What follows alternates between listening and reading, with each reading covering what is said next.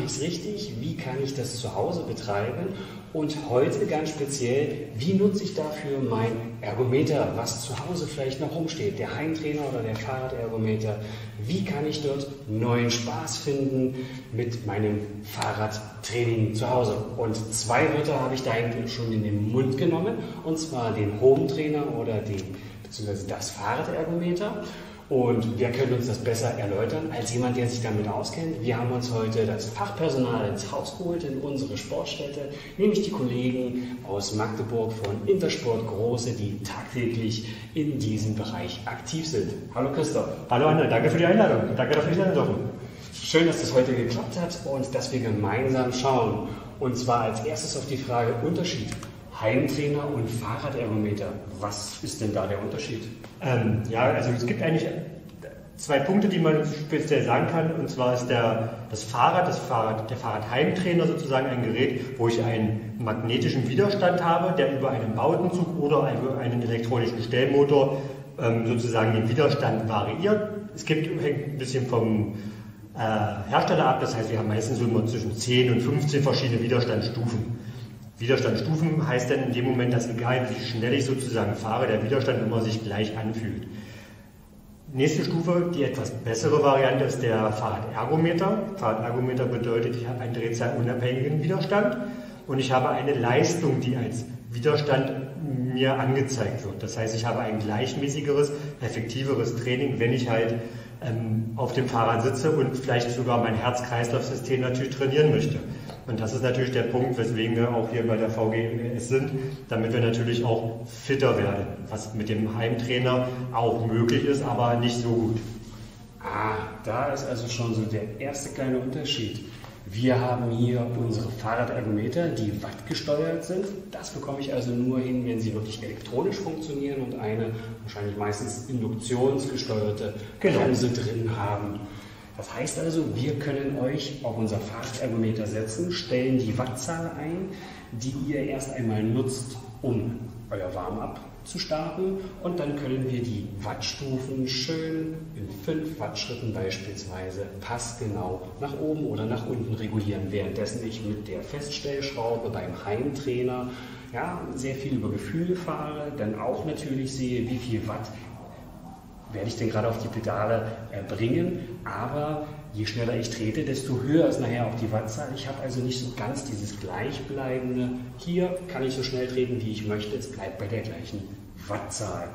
Ja, ganz viele haben solch ein Gerät zu Hause zu stehen, schaffen sich das an, sind am Anfang voller Begeisterung und merken dann auch mit der Zeit, ah, es kommt so ein bisschen Lust und Laune ab. Es funktioniert halt irgendwie nicht. Irgendwas passt nicht. Äh, ähm, der Schweinehund über, kann man leider nicht so überwinden. Und ähm, wir sehen es ja bei uns in der Praxis. Oft liegt es halt immer nur daran, wie ich das Gerät nutze.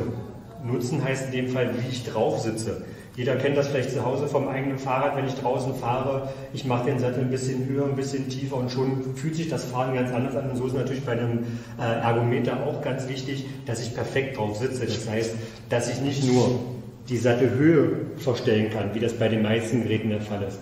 Hochwertige, bessere Geräte schaffen es natürlich auch, den Sattel in der Tiefe zu verstellen. Das heißt, dass ich auch da auf der Pedale sozusagen den besten Druck erzeugen kann, um vernünftig zu fahren. Andere Geräte haben noch die Option, das ist bei dem Vorführobjekt jetzt vielleicht nicht so möglich, ähm, einen, einen, Lenker zu haben, den man auch in der, in der Neigung vorstellen kann, mit Hörnchen an der Seite. Ich kann meine Handposition mal verändern. Und das macht nachher die, das, das Training, wenn ich zu Hause fahre, natürlich etwas angenehmer. Ich brauche nur noch draufsetzen und loszufahren. Also es sind mehrere Dinge und da wollen wir jetzt kurz, aber dennoch gezielt draufschauen, wie kann ich denn alleine schon mein Fahrrad selber, also das Fahrradergometer oder den Heimtrainer optimieren, dass ich mich wohler darauf fühle.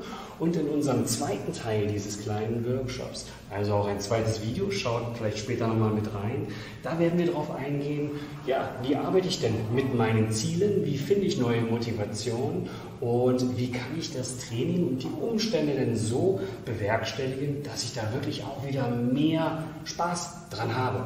Doch zunächst wollen wir also drauf schauen, was können wir alles mit einstellen und was bringt uns das Ganze. Wie Christoph eben schon meinte, Lenker, hier haben wir nur ein einfacheres Modell, manchmal habt ihr noch die Klappvariante. Ihr könnt dennoch mit den Händen wechseln. Man sollte doch immer wieder ähm, darauf achten und schauen, dass das Handgelenk gerade gehalten wird. Genau. Wenn ich drauf sitze, ich kann hier jetzt einmal nicht mehr drauf stellen, Christoph kommt hier auf die andere Seite. Äh, wenn ich hier fahre, klar, Handgelenk ist äh, schön gerade, man sollte es nicht abknicken lassen, egal in welche Richtung. Ich kann aber trotzdem auch äh, mit diesen Griffen von außen anfassen oder wenn ich es etwas sportlicher möchte, kann ich mich mit der Zeit auch drauflehnen. Vielleicht würde ich nur darauf achten, dass ich mir den Rücken nicht zu rund verbiege, sondern immer wieder drauf ähm, mich besinne, den Rücken dabei zu strecken. Und wie im Büro, die nächste Position ist die beste Position. Das heißt also, wenn ich eine halbe Stunde oder 20 Minuten, 15 Minuten mitfahre, wir müssen nicht die ganze Zeit wie ein Zinnsoldat hier oben drauf sitzen, sondern wechselt zwischendurch mal die Position, auch mal den Rücken durchbewegen und es spricht nichts dagegen, auch mal ein paar Meter im Stand zu fahren. Auch wenn das für viele erstmal so ein bisschen ungeübt ist, ähm, auch das bringt Lockerung in die Muskulatur, die Gelenke und die Sehnen, die Muskeln werden kurzzeitig ganz anders belastet. Das tut denen gut. Jetzt sitze ich hier schon drauf. Vom Lenker, vom Display geht es also in Richtung Sitzhöhe. Was könnt ihr denn euren äh, Käufern und euren Interessenten im Laden dort mit auf den Weg geben?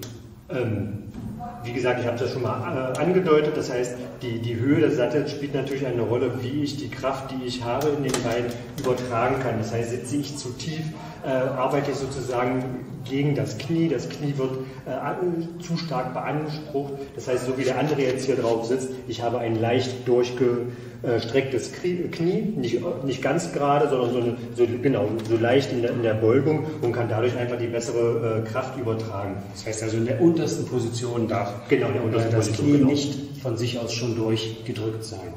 Das könnt ihr für euch mal überprüfen. Zum einen, wie positioniert sich das Knie, wenn ihr äh, fahrt und die tiefste Position habt. Auf der anderen Seite könnt ihr das auch für euch mit feststellen. Habt ihr den Sitz zu hoch eingestellt, geht eure Hüfte im Fahren mit. Ja, weil ihr kommt dann nicht mehr bis ganz runter und könnt die Kraft übertragen. Deswegen wackelt eure Hüfte mit. Ganz klares Zeichen, ihr sitzt viel zu hoch. Also Kniestreckung, leichter Winkel, und Überprüfung, was macht meine Hüfte, bleibt die stabil Genau. Zweiter Aspekt, habe ich auch schon erwähnt, wir haben nicht nur die Sattelhöhenverstellung, sondern auch die Tiefe des Sattels. Das heißt, ich kann äh, gucken, dass ich die, die Hüfte sozusagen etwas entlasten kann und dafür muss ich halt gucken, dass ich über die Pedale zum Knie eine, eine gleichmäßige Achse mache. Damit wir das mal demonstrieren können, wie das jetzt hier aussieht, haben wir uns ein Springseil vorbereitet.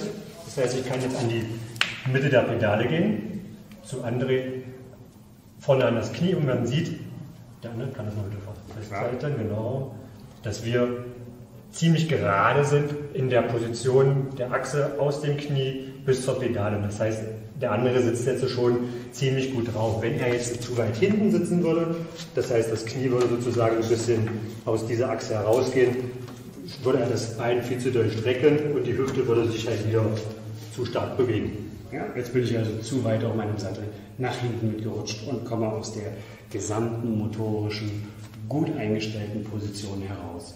Und es kann also nicht mehr gut funktionieren und schon gar nicht ökonomisch, weil ich da viel zu viel Kraft ähm, verpulvere und natürlich dann irgendwann auch ungünstige Druck- und Reibepunkte erzeuge in meinem Gelenk. Im schlimmsten Fall sogar den auch Schmerzen. Absolut. Und wir wollen, ja Sport, wir wollen ja äh, Schmerzen vermeiden, indem wir halt äh, uns auf ein Fahrrad setzen, dass wir sozusagen unsere Kondition, unsere Fitness verbessern und das hilft da nicht Schmerzen. Das wollen wir natürlich auf jeden Fall vermeiden. Genau, Fahrradfahren. Ihr wollt ja vielleicht auch die Fahrtergometer-Variante nutzen, äh, damit ihr eure Gelenke, eure Muskeln kräftigt und eventuell auch so weit wieder mit aufbaut, dass ihr die Schmerzen überwindet. Ein, ja, ein, ein nächster Punkt, den wir vielleicht noch mal kurz mit erwähnen müssen, weil du jetzt gerade rausgehst. Die meisten Fahrräder haben ja unten eine Pedale, wo ein Querriemen ist. Das ist nicht nur dafür, dass man besser reinstellen kann in das Fahrrad, äh, beziehungsweise vielleicht auch den Schlappen da drin lassen kann, damit der nicht immer äh, rausgeht. Hat natürlich den Vorteil, dass ich nicht nur beim Fahrradfahren, bitte den Fuß runter andrehen, nicht nur drücken kann beim Runtergehen, sondern ich kann im Endeffekt auf der Gegenbewegung auch die Pedale nach oben ziehen. Das heißt, ich habe eine ganz andere Belastungssteuerung, ich habe eine andere Belastung äh, der Muskulatur, wenn ich nicht nur drücke, sondern auch nach oben die Pedale ziehe, ähm, was auch den Trainingseffekt natürlich vergrößert und verbessert. Ganz wichtiger Punkt. Das, was wahrscheinlich die meisten draußen auf ihrem Fahrrad für den Alltag gar nicht so umsetzen können, es sei denn, sie haben ein Pedalsystem, wo Sie direkt sich reinklicken können oder über andere Varianten mit der Pedale verbinden. Ich kann also drücken und ziehen. Ich habe eine viel bessere Verteilung und Möglichkeit, meine Muskeln, vor allem beim nach oben ziehen, meiner hinteren Beinmuskulatur, diese noch mit zu erreichen. Jetzt hatten wir die Pedalen, den Sattel, die Höhe. Vom Sattel her könnte man noch sagen, generell die Neigung ist möglich zu verstellen, wenn man also merkt, je nachdem wie der Sattel aufgebaut ist, viele Sattel gehen ähm, vorne ein kleines Stückchen mit nach oben. Da kann dann also Abhilfe geschaffen werden, indem man den kleinen Stückchen nach vorne unten äh, mit neigt und einstellt. Äh, Je sportlicher ich sitze, desto mehr sollte er ein Stückchen abfallend sein. Wenn ich eine aufrechte, äh, eine aufrechte Position habe, sollte genau. er auch hier quasi waagerecht bleiben. Genau, und ähnlich wie das jetzt bei dem Sattel ist, das ist ein, ein sogenannter G-Sattel, der auch eine breite Auflage hat, damit ich natürlich auch auf dem Gesäßknochen eine Entlastung habe und nicht gleich sofort auf dem festen Untergrund sitze. Genau. Je aufrechter ich sitze, desto breiter sollte der Sattel sein. Das ist also ein komfortabler Sattel, der also wirklich dafür gedacht ist, ähm, vom Abstand her habe ich einen aufrechten, einen, ja, die meisten sagen geraden Rücken während des Fahrradfahrens. Seid ihr aber natürlich schon geübtere äh, Ergometer, Sportlerinnen und Sportler und möchtet eventuell auch schon etwas intensiver trainieren, bevorzugen sicherlich mancher einen schmaleren Sattel. Ja, es gibt eventuell noch einen Punkt, und zwar den Einstieg. Genau. Es gibt bestimmt viele äh, ähm, Teilnehmer unter euch, die auch vielleicht Probleme haben über die Hüfte, über die Knie, weil sie vielleicht auch schon mal eine Operation hatten, ähm, beziehungsweise vielleicht auch Schwierigkeiten haben mit dem, mit dem Einstieg. Und da hab ich, haben wir natürlich Geräte, die den tiefen Einstieg haben. Das heißt, das Gerät ist an sich ein wenig länger gearbeitet, die Sprungscheibe des Gerätes ein Stückchen nach hinten äh, verschoben und dadurch habe ich natürlich dann die Option, besser in das Gerät einzugehen, ohne dass ich gleich eine große Hüftbewegung machen muss.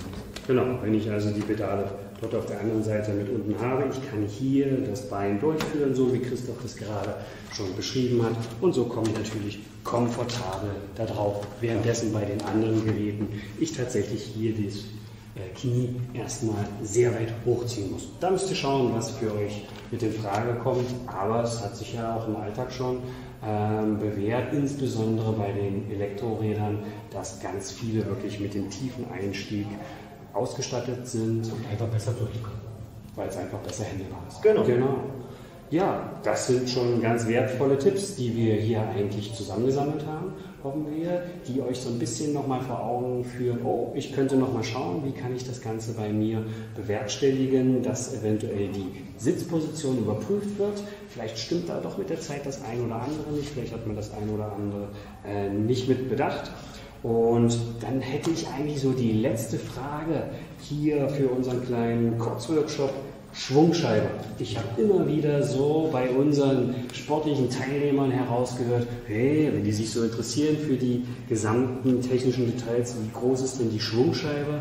Ähm, ach, das ist bloß eine 8 Kilo Schwungscheibe. Naja, ich weiß noch, je ja, größer, je besser. Das Motto genau, je größer, je besser. Äh, da habe ich den besseren Widerstand, kann einen besser fahren, habe äh, vielleicht einen größeren Trainingseffekt. So ist es leider nicht oder zum Glück nicht, muss man sagen. Das heißt, die, die Hersteller haben in den letzten Jahren durch Entwicklung einfach auch äh, festgestellt, man kann die Schwungscheibe auch ein wenig kleiner machen, man hat trotzdem einen angenehmen natürlichen Rundlauf, damit das etwa vergleichbar ist, wenn ich draußen mit einem Fahrradfahrer in der freien Natur ähm, und habe durch Übersetzung andere Möglichkeiten. Bei einem Fahrradergometer spielt die Schwungscheibe sowieso keine große Rolle, weil durch das Induktionsbremssystem, durch dieses Magnetfeld, was erzeugt wird, der, äh, der Widerstand ja so und so geregelt wird. Das heißt, da ist die Schwungscheibe eigentlich nur für die Rundbewegung nachher äh, möglich. Das heißt, das Motto, je größer, je besser, trifft einfach bei den heutigen Ergometern, aber auch bei den Heimtrainern leider nicht mehr zu. Sagen wir einfach nicht leider, sondern das ist ja besser für uns. Wir brauchen genau. nicht mehr so viel hin und her zu wuchteln, denn es macht schon einen Unterschied, ob die Schwungscheibe hier hinten 13 oder 14 Kilo hat oder ob ich mit einer 7 oder 8 Kilo Schwungscheibe das Fahrradergometer oder den Heimtrainer genauso gut nutzen kann. Ja, vielleicht sind das ja auch nochmal so ein paar Überlegungen für ein neues Fahrradergometer, wenn man da am Hinterkopf hatte, sich mit zu beschäftigen. Es muss also nicht das 13 Kilo Schwungrad sein, sondern kleineres reicht mir aus.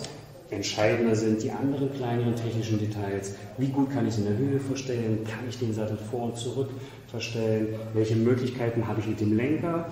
Brauche ich zusätzliche Griffe, weil ich da eben schon ein bisschen vorbelastet bin? Oder ist das okay mit solchen einfacheren Varianten? Vielleicht, wo man auch nochmal drauf schaut, möchte ich ein System haben, wo ich gleich über die Hände sogenannte Handsensoren habe für die Pulsmessung? Oder arbeite ich mit einem zusätzlichen Pulsgurt bzw. mit einer Fitnessuhr? Viele haben solche Geräte mittlerweile äh, nicht nur zu Hause rumzuliegen, sondern nutzen die ja tagtäglich. Das sollten so kleine Entscheidungshilfen sein. Hätte ich noch was vergessen? Hast du noch was im Hinterkopf? Ich, ich denke nicht. Ich denke, du wirst irgendwann nochmal bei einem zweiten Video oder bei einem äh, zusätzlichen Variante auch nochmal so ein bisschen auf die Unterschiede der Geräte eingehen, was man sozusagen machen kann, damit das Training auch ein bisschen mehr Spaß macht, effektiver vielleicht ist. Aber das wäre sicherlich für diesen, äh, für dieses, für diesen Grundbaustein Ergometer sicherlich erstmal auch zu viel. Genau. Und wenn euch das noch interessiert, wie kann ich da wieder ein bisschen mehr Schwung mit reinbekommen, beziehungsweise wie kriege ich ein bisschen mehr Kick in mein Fahrradergometer-Training zu Hause hinein, dass ich da konstanter dabei bleibe, dann schaut euch also auch unseren zweiten Teil an. Aber hier sage ich erstmal vielen Dank, Christoph, von Danke, Intersport Große in Magdeburg, mitten im Herzen unserer Stadt. Wir sind am Universitätsplatz und Christoph sitzt mit seinem Team, dem Intersport Große Team, ähm, ja, auf dem breiten Weg. Am, alten, am alten, Markt gegenüber vom Karstadt. Genau. Also jeder, der durch die Innenstadt fährt, kommt bei uns vorbei, kommt rein, habt Fragen und bringt sie am besten mit. Genau. Und dann freuen wir uns drauf, wenn ihr dort vorbeischaut. Bis dahin. Tschüss. Tschüss.